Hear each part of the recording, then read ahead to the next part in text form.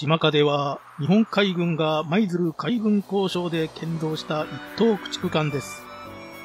1941年8月に寄港し、1943年5月に竣工しました。島風型駆逐艦は次世代の艦隊型駆逐艦として、水雷戦に求められる性能を可能な限り高めた高性能駆逐艦であり、特に速力に優れているのが特徴でした。これはロンドン海軍軍縮条約の破棄により、アメリカ海軍の駆逐艦が速力向上を目指しているという情報があったため、日本が得意とする水雷戦において優位に立とうとした結果の高速化でした。従来の高型駆逐艦とはボイラーもタービンも全くの新型となり、7万5000馬力の極めて大出力の機関を搭載しています。これは戦艦不装と同等の出力であり、戦艦ヤマトの半分の出力で、島風の排水量はヤマトの20分の1程度でしたが、馬力は2分の1までに達しており、この結果、島風は格子運転の際に40.90ノットを記録することに成功したのです。これは当時の連合国軍の魚雷の速度が40ノット程度であったため、島風は最大速度で航行中に、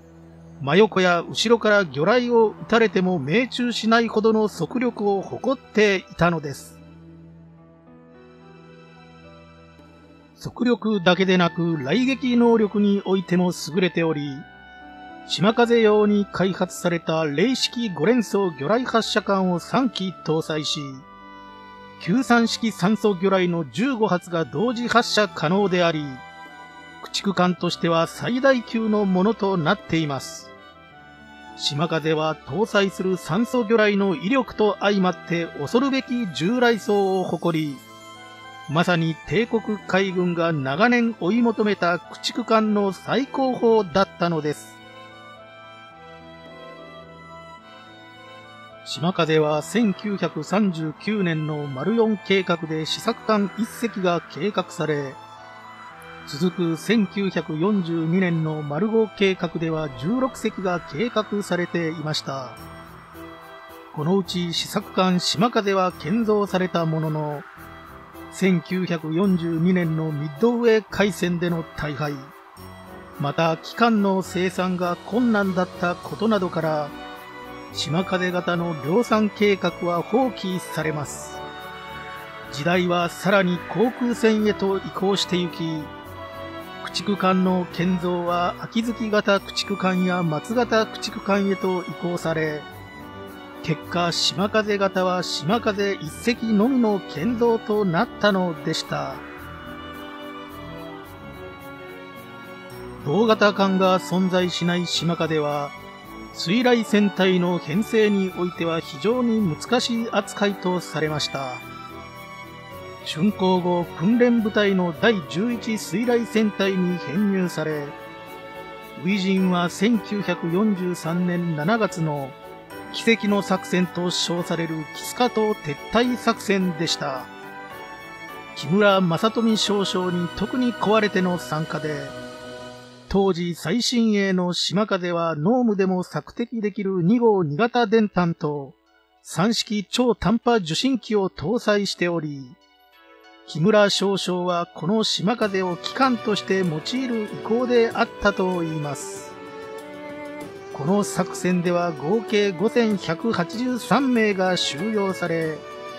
7月31日から8月1日にかけてパラムシルに全艦無事に帰投。これにより戦史上極めて珍しい無傷での撤退作戦が完了したのでした。その後、島風は第二水雷戦隊に配属されます。当時のソロモン方面では熾烈な戦闘の連続でしたが、同型艦がなく艦隊を組みづらい島風は最前線には投入されず、しばらくは内地とラバウル、トラックを往復する護衛任務をこなすこととなりました。1944年10月のレイテ沖海戦で島風は第一部隊に編入されて作戦に参加します。常に艦隊の先陣を切り抜群の機動力を持って護衛に活躍。潜水艦との戦いで大きく貢献しました。また戦艦武蔵が空襲によって戦闘不能になっていたところを援護し武蔵に収容されていたマヤの乗員を収容。その後部隊に復帰しています大敗に終わったレイテ沖海戦で沈没した慶順能代に代わり島風は第二水雷戦隊の機関となり勝機を継承しました。そして最後の戦いとなる第三次多号作戦に参加。第三次輸送部隊を指揮してレイテ島北西オルモック湾に突入します。しかし11月10日の11時頃に偵察の B24 に発見され、オルモック湾に到着する直前に電弾が1万4000メートルの距離に航空機の大群を探知します。これはジョン・シドニー・マケインシニア中将率いる第38任務部隊の13隻の空母から発進した関西機軍347機でした。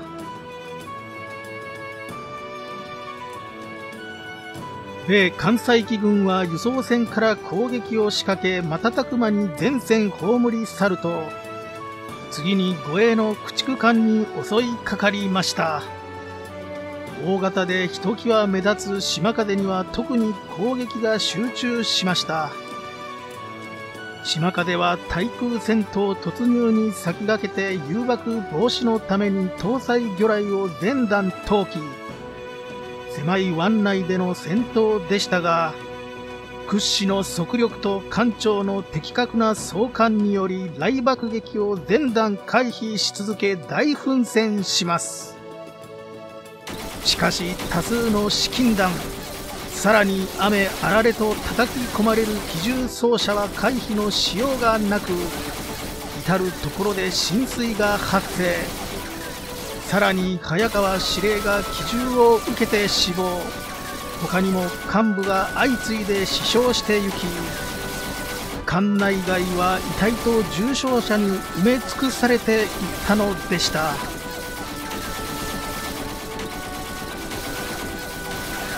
蜂の巣と化してゆく船体は応急処理も間に合わず浸水が増大し続け管からも蒸気が噴出し出力は急速に低下。ついに航行不能に陥ります。1944年11月11日17時30分。最後はオーバーヒートした機関が爆発。船体後部からオルモック湾に没していくという壮絶なものでした。軍令部参謀で作家の吉田敏夫は島風について、この戦争で日本の駆逐艦はその大威力を抱いたまま非業な死を遂げたものだが、島風の死はその中でも最も悲痛なものの一つだった、と記述しています。帝国海軍が追い求めた高速従来層の駆逐艦島風でしたが、その誕生はあまりに遅く、そしてその活躍もまた一年半という短きものでした。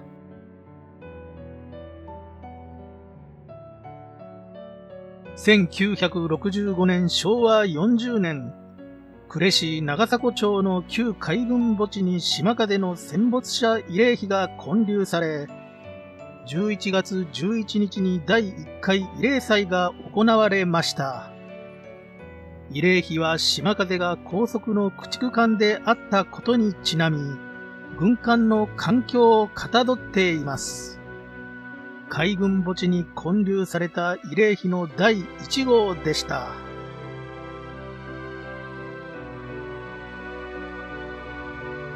島風の名は海上自衛隊の護衛艦へと受け継がれています。島風 JS 島風 DDG172 は海上自衛隊の護衛艦、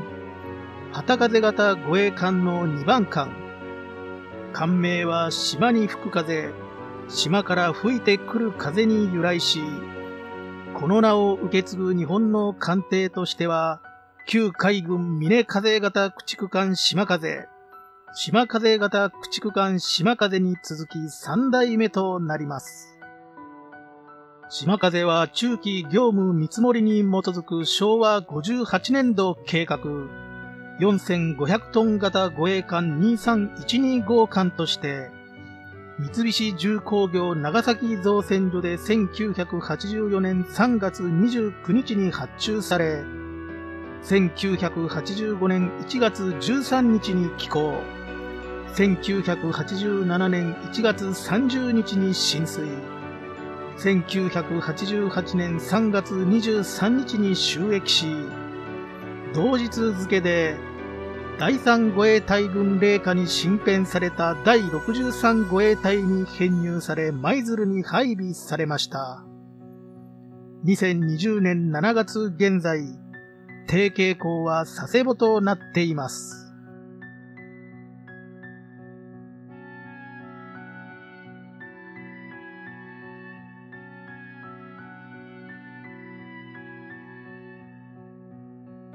あなたにも先人の声が聞こえます。